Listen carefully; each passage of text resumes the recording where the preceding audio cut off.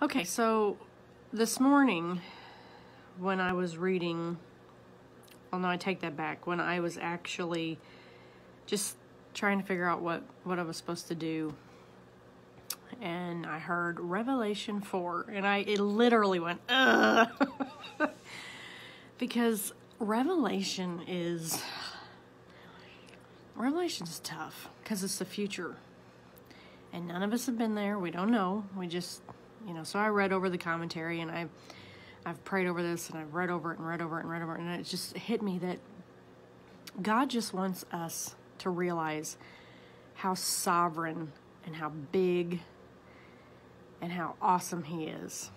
That's what this is about today. Um, revelation 4 is actually really small. It's not very long but it is powerful. The key verse um, is verse 11, Revelation 4:11. And it says, haha, they're talking about God here. Okay.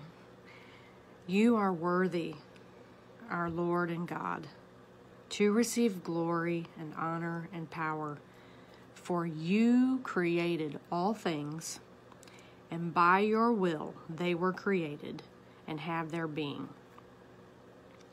Do you understand that? You yourself were created by God. All the people you love and care about were created by God, and they were given their being, their very breath by God. He did it. He continues to do it. And even after they pass, He still takes them to where they're to be, whether it be heaven or whether it be hell. God loves you and cares more than you will ever know or comprehend about you. Let me read this. It's good. After this, I looked, and there before me was a door standing open in heaven. Now, this is John, okay? This is his vision and what God put him through for, for him to understand and be able to write Revelation.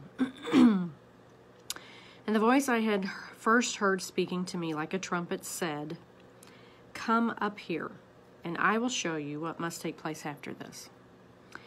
And at once I was in the Spirit, and there before me was a throne in heaven with someone sitting on it. Now let me stop. How cool would this be? It's either really cool or it's going to freak you out, but it's still cool.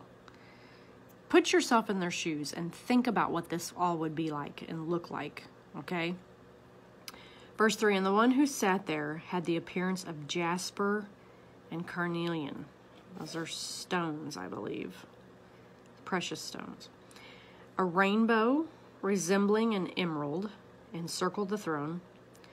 Surrounding the throne were 24 other thrones, and seated on them were 24 elders. They were dressed in white and had crowns of gold on their heads. From the throne came flashes of lightning, rumblings, and peals of thunder. Before the throne, seven lamps were blazing these are the seven spirits of God. Also, before the throne, there was what looked like a sea of glass, clear as crystal. In the center, around the throne, were four living creatures, and they were covered with eyes in front and in back. The first living creature was like a lion, the second was like an ox, the third had a face like a man, the fourth was like a flying eagle. Each of the four living creatures had six wings and was covered with eyes all around, even under his wings.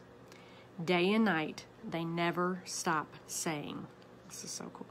They're, they're doing this to God, okay? Holy, holy, holy is the Lord God Almighty, who was and is and is to come. Whenever the living creatures give glory, honor, and thanks to him who sits on the throne and who lives forever and ever, the 24 elders fall down before him who sits on the throne and worship him who lives forever and ever. They lay their crowns before the throne and say, You are worthy, our Lord and God, to receive glory and honor and power, for you created all things and by your will they were created and have their being. I hope you understand the magnitude of this today. I hope you understand that the God you serve is all that you need and all that this world needs. He created the world, He is it. so cool. So cool.